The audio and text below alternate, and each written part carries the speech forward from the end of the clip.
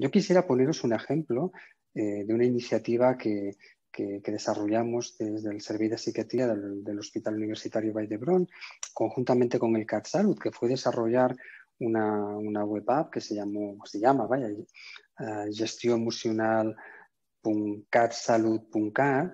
en el cual eh, eso se lanzó pues, un mes, prácticamente un mes después del inicio del confinamiento, para que realmente la ciudadanía pudiera pues, medir y, ver cuál era su nivel de, ansiedad o de depresión y dar toda una serie de recursos para que pudiéramos, se pudiera manejar mejor esa situación.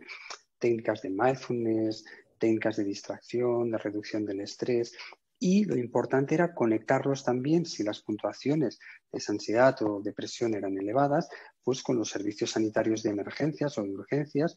para que se pudiera dar una respuesta como muy mucho más rápida y ágil.